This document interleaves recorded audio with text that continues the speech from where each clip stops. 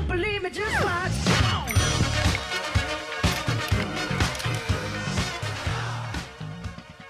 Don't believe me, just watch. Back on the Morning Brew with Friends with Jeff from Endorphin Power Company. It's good to see you. Thank you for having me. And you guys are having a big show coming up on what December 11th at the National Hispanic Cultural Center. We are. That's going to be huge. So I hope so. Yeah, really.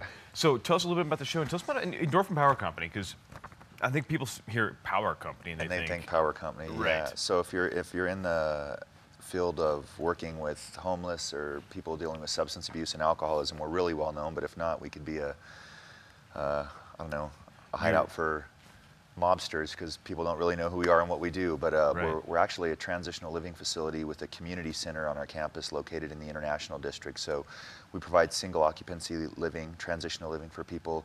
Um, you know, who have experienced homelessness due to substance abuse or alcoholism, kind of getting a foundation back in their life. Um, located at 509 Cardenas Southeast, and we have this music benefit, which is our first one coming up on Is your Friday. first one ever? Uh, yeah, we- normally we do a comedy benefit every year. We're, in Okay. our, we're in our third year of that, but we decided to, to incorporate some music into it too. And you guys got some great musicians for this thing. You landed, you bring in some people from LA. Yes, yes, And North, Northern California too. A couple of uh, a couple of well-known musicians. We got Scott Kelly and Bruce Lamont coming in. Scott right? Kelly is actually really well known Mm-hmm. in the work of his uh, progressive heavy metal band. They started in the 80s. They're called Neurosis. Very, I very popular. I think I have a cassette by them You- somewhere. You might, you day. might. And so this is a real. This is completely the opposite of what he does in that band. Oh, really? And so this is going to be uh, acoustic on, with Bruce Lamont on sax. He plays in a band called Yakuza.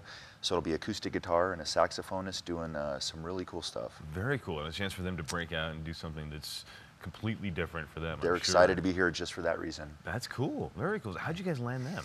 You know what? A friend of a friend. Ah, uh, I'm a excellent. musician, and so I hang out with musicians, and my buddy's friends with Scott, and they said Scott's looking to come through, and he's not really wanting to play a bar and compete with that crowd Right. because of the type of music he's playing. And so I said, hey, why don't we put it on ourselves? That sounds like a plan. So, the uh, so you guys, how?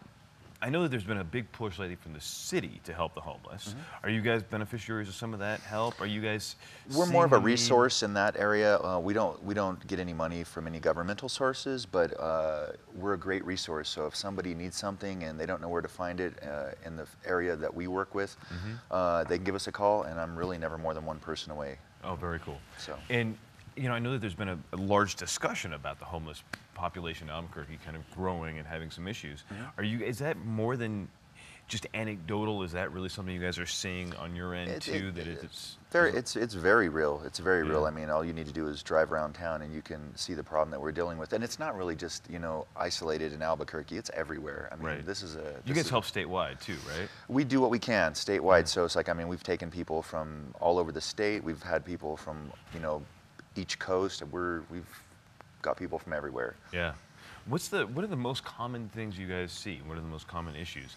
I know that Albuquerque, they keep saying that we have issues with some of the harder drugs coming into Albuquerque. I don't know mm-hmm. if you guys are seeing that or if it's still mainly the traditional, I hate to say traditional stuff, but Right. Well, it's, it's everything. I mean, everybody's got their struggles. I mean, if Yeah. you're if you're dealing with addictions, it could be you know pills, alcohol, it could be marijuana. It could. I mean, there's people you know have issues with gambling, all kinds of stuff. But for us, Mm-hmm. um, you're always going to see the alcohol, the opiates, the meth, and, Mm. and the cocaine, and so that's kind of like the the core three or four or five things that we deal with on a consistent basis. Mm-hmm. Um, but there's lots of other things out there people are struggling with that you know can actually cause them to be homeless. right, right. And in your, so what kinds of treatments options do you guys offer for?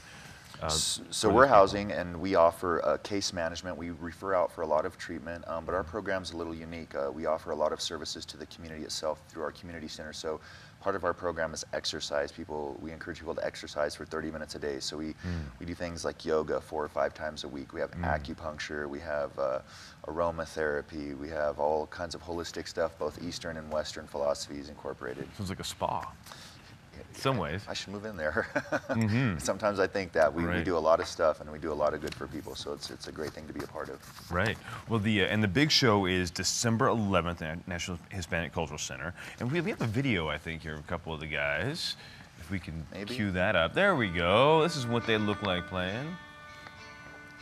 That's actually them doing a cover of Neil Young, a Neil Young song. Oh, really? Sounds like a little bit like Harvest Moon, maybe. Yeah, it's Yeah. called Cortez the Killer. Oh, of course. Yeah. This should be a fun show, actually.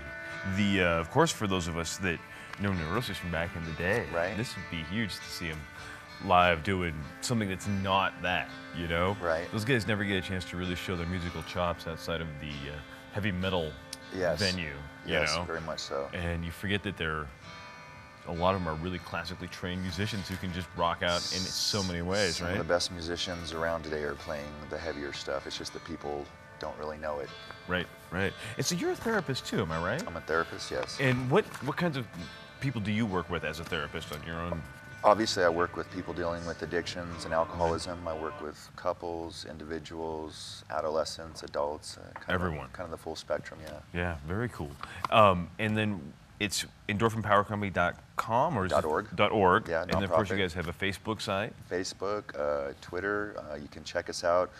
Uh, we got some really cool stuff going on. We got cool stuff going on all the time. If you just go to our website and check out our calendar, I mean, there's always something going on. That sounds like a plan. Well, we'll see you on December 11th at the Hispanic Cultural Center, and I can't wait to see all these awesome musicians live. Absolutely. Hope Should be fun. there. And we'll be back in a couple of minutes on the Morning Brew with Friends.